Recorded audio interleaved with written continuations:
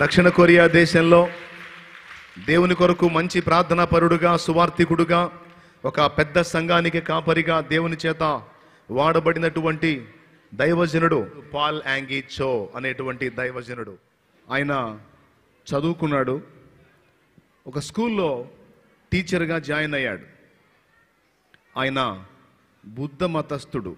అంటే బుద్ధిజం వాళ్ళ తల్లిదండ్రులు ఫాలో అయ్యేవాళ్ళు. ఆయనకి జీసస్ తెలియదు ఏసయ్య తెలియదు అయితే ఒకరోజు స్కూల్కి వెళ్ళి మీలాంటి చిన్నపిల్లలకి ఆయన క్లాస్ చెప్తున్నాడు. అంటే మాస్టర్ గారు అనమాట ఆయన సార్. ఆయన క్లాస్ చెప్తూ ఉన్నప్పుడు షడన్గా ఆయన ముక్కుల్లోంచి రక్తం రావటం మొదలుపెట్టింది.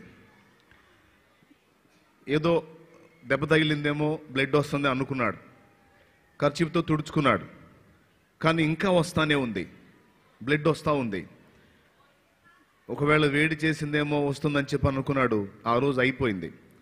మరుసటి రోజు మళ్ళా స్కూల్కి వచ్చాడు. మాట్లాడుతుంటే కొంచెం దగ్గు వచ్చింది. దగ్గు తర్వాత బ్లడ్ వచ్చింది. అంతకు ముందు రోజు ముక్కులోంచి రక్తం వచ్చింది. తర్వాత రోజు నోట్లో నుంచి బ్లడ్ వచ్చింది. రోజు రోజుకి ఆయన క్షీణించిపోతా ఉన్నాడు. తల్లిదండ్రులు ఆయన వైద్యశాలకు తీసుకెళ్తే డాక్టర్ గారు చెప్పారు ఇతనికి క్షయ జబ్బు వచ్చింది అని. క్షయ అంటే మన పెద్దలు అంటూ ఉంటారు నెమ్ము బలహీనత అని క్షయ వ్యాధి అని. క్షయ వ్యాధి అంటే క్షయమైపోయే వ్యాధి. ఆ జబ్బు వచ్చిన వాళ్ళు ఎవరు బతకరు చచ్చిపోతారు అన్నమాట వాళ్ళు చెప్పారు మీ అబ్బాయికి భయంకరమైన జబ్బు వచ్చింది ఈ జబ్బు అంటువ్యాధి కూడా. ఈ జబ్బు వచ్చిన వాళ్ళు ఎక్కువ రోజులు బ్రతకరు అతని తినే ఆహారపు ప్లేట్ ఏదైతే ఉందో అది పక్కన పెట్టండి అతను తాగే నీళ్ళ చెంబు ఏదైతే ఉందో అది పక్కన పెట్టండి నీళ్ళ గ్లాస్ పక్కన పెట్టండి అది ఎవరు కూడా ముట్టుకోకూడదు. అంతేకాదు అతను దగ్గినప్పుడు అతనికి దగ్గొచ్చి దగ్గినప్పుడు ఆ దగ్గు ద్వారా ఈ క్షయవ్యాధి క్రిములు ఎదుటి వాళ్ళు కూడా వస్తాయి కనుక అతను దూరంగా ఉంచాలి అతన్ని ఇంట్లో పక్కన ఉంచాలని చెప్పని వైద్యులు సలహా ఇచ్చారు. ఆ బిడ్డకు వచ్చిన జబ్బు భయంకరమైంది కనుక తల్లిదండ్రులు చేసేది లేక తమ ఇంట్లో ఒక ప్రత్యేకమైన గదిలో ఆ అబ్బాయికి ఒక మంచం వేసి ఆ బెడ్ మీద అతను పండుకుంటే ఒక మన్ ఒక ప్లేటు ఒక గ్లాసు సపరేట్గా పెట్టారు ఎప్పుడన్నా ఒకసారి ఆ అబ్బాయి ఉన్న గదిలోకి వెళ్ళేవాళ్ళు ఇలా. ఎవరు కుటుంబ సభ్యులే. ఎందుకంటే ఆ గాలి పీలిస్తే మీకు కూడా జబ్బు వస్తుంది అని చెప్పని డాక్టర్లు చెప్పారు కనుక ఆ అబ్బాయికి ఆహారం పెట్టడానికి వెళ్ళినప్పుడు ఇలా వెళ్ళేవాళ్ళు. అంటే ముక్కులకు ఖర్చు పడ్డం పెట్టుకొని వెళ్ళి ఆ అబ్బాయికి పరిచర్య చేసి వచ్చేవాళ్ళు ఆహారం పెట్టి వచ్చేవాళ్ళు. రోజు రోజుకి రోజు రోజుకి క్షీణించిపోతూ ఉన్నాడు. ఓ రోజు ఆయన కూర్చొని ఏడుస్తున్నాడు. ఇంకా కొద్ది రోజుల్లో నేను చనిపోతాను ఇంకెక్కువ కాలం బ్రతకను అయ్యో నన్ను ఆదరించే వాళ్ళు ఎవరు అని చెప్పని కుమిలిపోతున్నాడు. నా తల్లిదండ్రులు సైతం నన్ను ప్రేమించట్లేదే నాకు దిక్కెవరని అని చెప్పని ఆయన కుమిలిపోతా ఉన్నాడు. ఓ రోజు చెల్లి చెల్లి నువ్వులే తల్లి నువ్వులే ఎదుగో ఇలాంటి అమ్మాయి ఇంత వయసు ఉన్న అమ్మాయి ఓ రోజు ఆయన ఉన్న గది తలుపు తట్టింది. సండే స్కూల్కి వెళ్ళే అమ్మాయి అయి ఉండొచ్చు. గది తలుపు తట్టింది. ఆయన లేచి తలుపు తీశాడు. అడుగు వేస్తే ఆయాసం వస్తుంది. చాలా క్షీణించిపోయింది అతని ఆరోగ్యం. చావుకు సమీపంలోకి వెళ్ళిపోయాడు. ఆ పరిస్థితుల్లో ఇలాంటి చిన్న బిడ్డ వెళ్ళి ఆయన దగ్గరికి వెళ్ళి ఆ గదిలోకి వెళ్ళింది.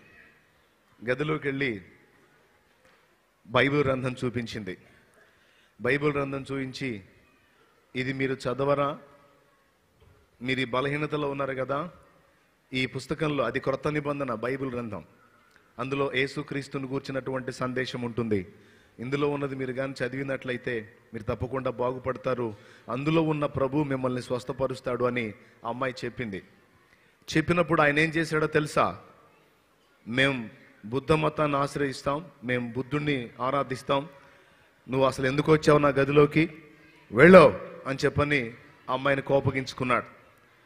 కోపగించుకుంటే పాపం భయపడింది. భయపడి ముఖం చిన్నబుచ్చుకొని ఆ గ్రంథాన్ని తీసుకొని వెళ్ళింది. తర్వాత తలుపేసుకొని అతను దుఃఖపడతా ఉన్నాడు. మళ్ళా మరుసటి రోజు తలుపు తట్టింది. తలుపు తీశాడు. మళ్ళా గదిలోకి వెళ్ళింది. అంకుల్ నేను చెప్పేది నిజం. ఈ పుస్తకంలో ఉన్న దేవుణ్ణి మీరు నమ్ముకోండి.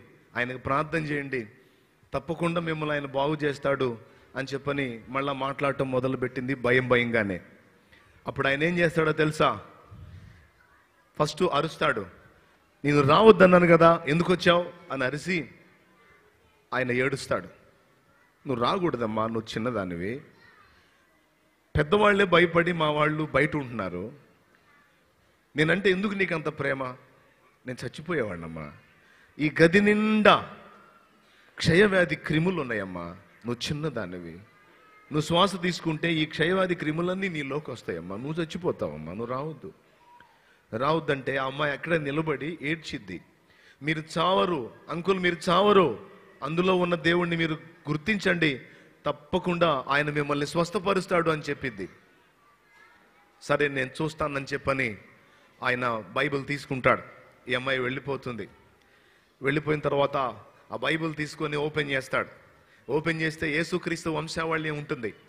అబ్రహాం కుమారుడైన దావీదు కుమారుడు యేసుక్రీస్తు వంశావళి నుండి అబ్రహాం ఇస్సాకును కనను ఇస్సాక్ యాకోబును కనను యాకోబు యోధాను అతని అనందములను కననని మగవాళ్ళు అబ్రహాం ఇస్సాకును కన్నాడని చెప్పిన ఎట్లా ఉంటే ఇదేంట్రా మగాళ్ళు కంటున్నట్టుంది ఇందులో? పిల్లల్ని కానీ అది ఆడాళ్ళు కదా?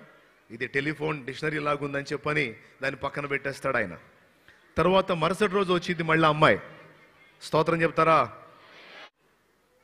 ఇప్పుడు బాగున్నారు. ఇప్పుడు బాగున్నారు. తర్వాత అమ్మాయి మూడో రోజు వస్తుంది. ఎంత అమ్మాయి పెద్ద ఆవిడ నా అంత ఆవిడ? ఇదిగో ఇంత.